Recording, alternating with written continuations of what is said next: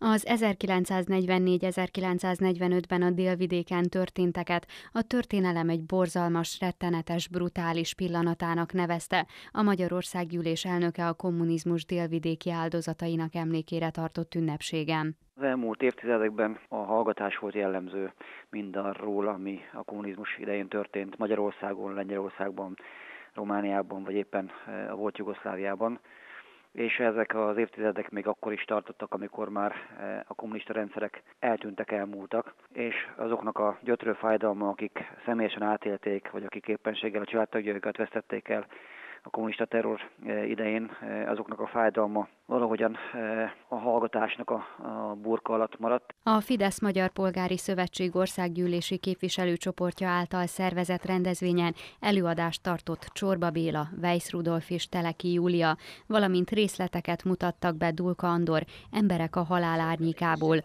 Csúrogi történet című filmjéből. Nagyon fontos, hogy erről beszélhetünk ilyen magas helyen, és valóban példaértékű, hogy ezt a, a mostani magyar ország, a magyar kormány és a magyar parlament, hogy foglalkozik ezzel a kérdéssel, úgy a magyar diplomácia is, mert ez most már nem annyira hallgatott kérdés, és most nem csak ilyen buzgó történészek, meg a az igazságért harcoló élharcosok szólnak ezen a téren, hanem bizony a legmagasabb szinten. A kommunizmus áldozatairól először 2001. február 25-én emlékeztek meg a Magyarország gyűlésben.